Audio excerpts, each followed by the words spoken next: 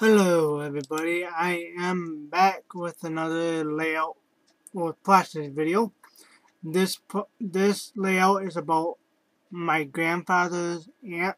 It would be his father's older sister. Sorry. I already have my stuff already out, laid out, like my picture in my journaling. I already have it matted with some black cardstock. It's one of my brand. I am piercing um, with a little tab tab thing um, for my brads that I got from Sue, who was Sile72828 here on YouTube.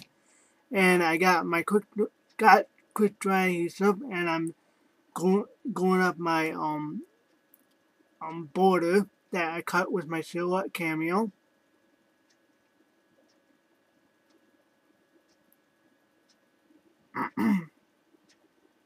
and I'm placing my picture and journaling down and see where I want it. And I think I'm about ready to get out my vintage. Yeah, I got my Tim Holtz vintage photo vintage ink out, and I'm inking around the edges of the journaling. And also, I use my decorative scissors on the top and bottom of the journaling, and that is the Paper Studio Royal Edge scissors decorative stitches I used. I'm just giving a close-up view of the journaling. now I'm going down my journaling and I think I'm going to go down my picture too. And this layout took me about an hour. I'm not 100% sure on that. I don't pay attention to the clock when I'm doing work layouts like this or any kind of to tell you the truth.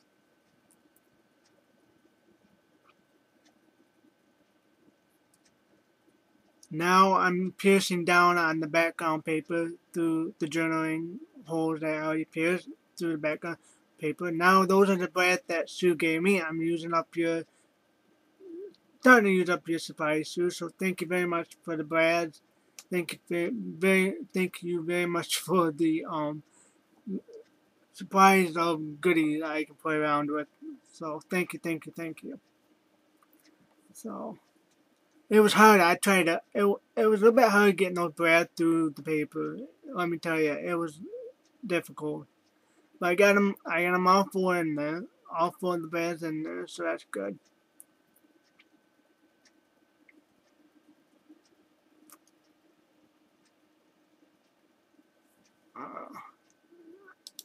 Still having a hard time.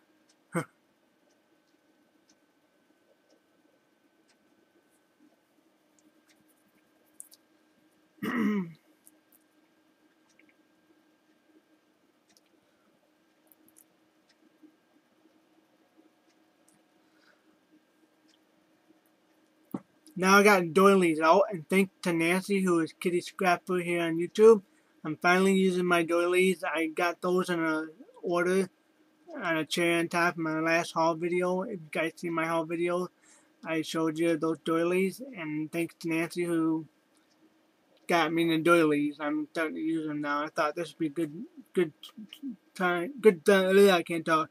Good time to start using the doilies, and I kind of did what Nancy did: cut them in half and and put them behind behind a photo or whatever.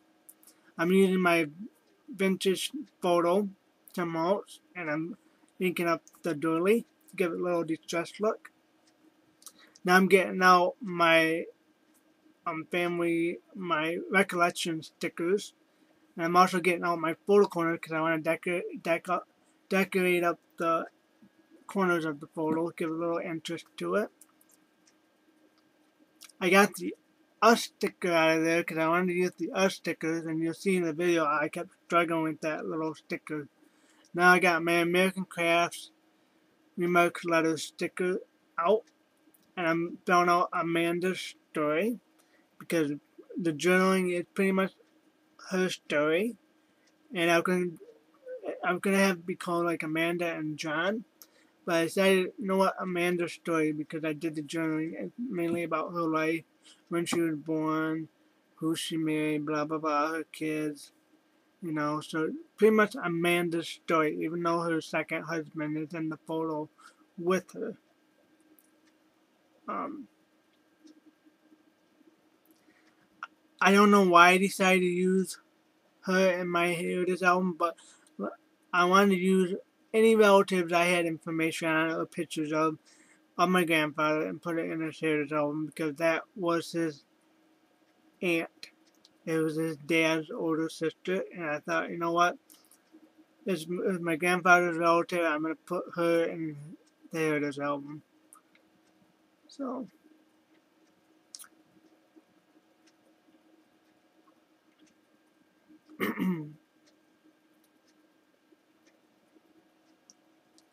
now, I'm not really happy with this layout. Uh, I mean, I hope you guys will let me know what you guys think.